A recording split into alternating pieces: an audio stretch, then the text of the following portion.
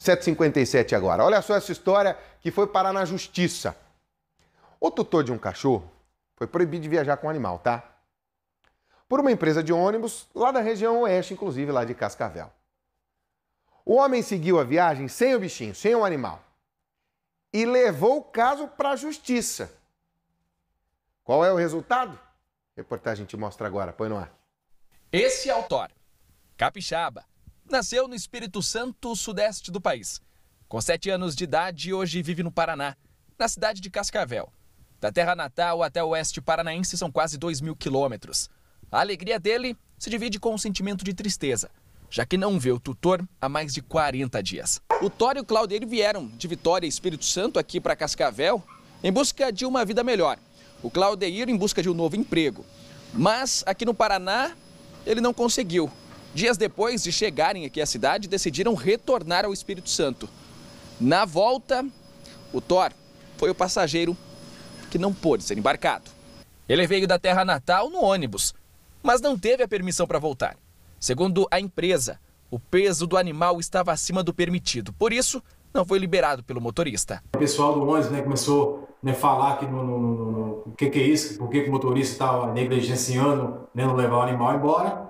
E naquele momento eu falei com o motorista, né, falei, ó, motorista, eu preciso seguir viagem, não tenho recurso para ficar mais na cidade, né, nem para poder me manter aqui eu não tenho esse recurso. E como é que eu vou fazer aqui? Já fui roubado duas noites aqui na rodoviária, né, o que, que eu vou fazer aqui para chegar até o meu destino, que é o Espírito Santo? Foi quando Claudeir não teve outra escolha.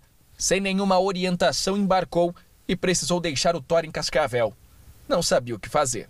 Quando o tutor do Thor fez a compra da passagem, não foi lhe passado qualquer critério né, de, de peso, tamanho ou algo do, do gênero.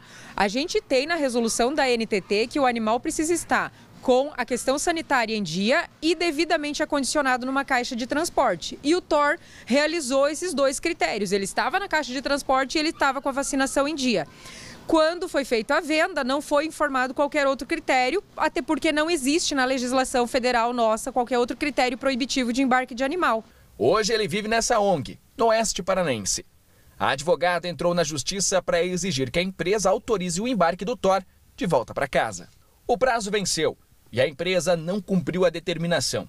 Um ofício já foi mandado pela Justiça para a NTT, Agência Nacional de Transportes Terrestres, para pedir a suspensão da venda de passagens em todo o Brasil e para aplicação de multa de 5 mil reais por dia. Enquanto isso, Thor e o tutor precisam viver longe um do outro. Ô Claudeir, tudo bom? Oi. Tudo beleza? Tudo bom? Mais de 40 dias sem ver o Thor. Quase dois meses já. Vou te mostrar ele agora por vídeo. Vamos ver qual é a reação dele. Tá aqui com a gente o Thor. Ó. Oh. Ei, meu filho. Tá procurando. Tá procurando, tá procurando. Ei, neném, papai. Aqui, papai, filho. E ele tá procurando. A empresa até entrou em contato com a ONG dizendo que cumpriria a decisão. Mas até o momento, isso não aconteceu. O Thor é, é um grande amigo, meu companheiro, é um grande filho para mim né? E que Deus nos abençoe, que dê tudo certo, né? Que a nossa jornada volta a ser o normal. Que dó do bichinho procurando, gente. Você viu quando conversa com ele por telefone, ele sai procurando no terreno onde está o dono. Ah, não dá, né? Não dá, gente. É errado. São duas características: acondicionamento e a, a, ali como está um animal se ele está com a vacina. Se tudo isso estiver correto, ponto. Tem que levar. Não importa o tamanho, do animal de estimação. Não importa. Não dá, né? E aquilo que é caracterizado como animal de estimação. Cachorro, gatinho, tudo mais, né? Eh, também tem essa limitação. Dá para você falar que tem um boi como animal de estimação para levar. Mas se tiver acondicionado de forma correta o cachorro e com a vacina no, no, no, no período certo, não tem como evitar. Tadinho do animal. O bichinho sofre muito, né? A gente sofre, mas o animal também sofre com a distância do dono.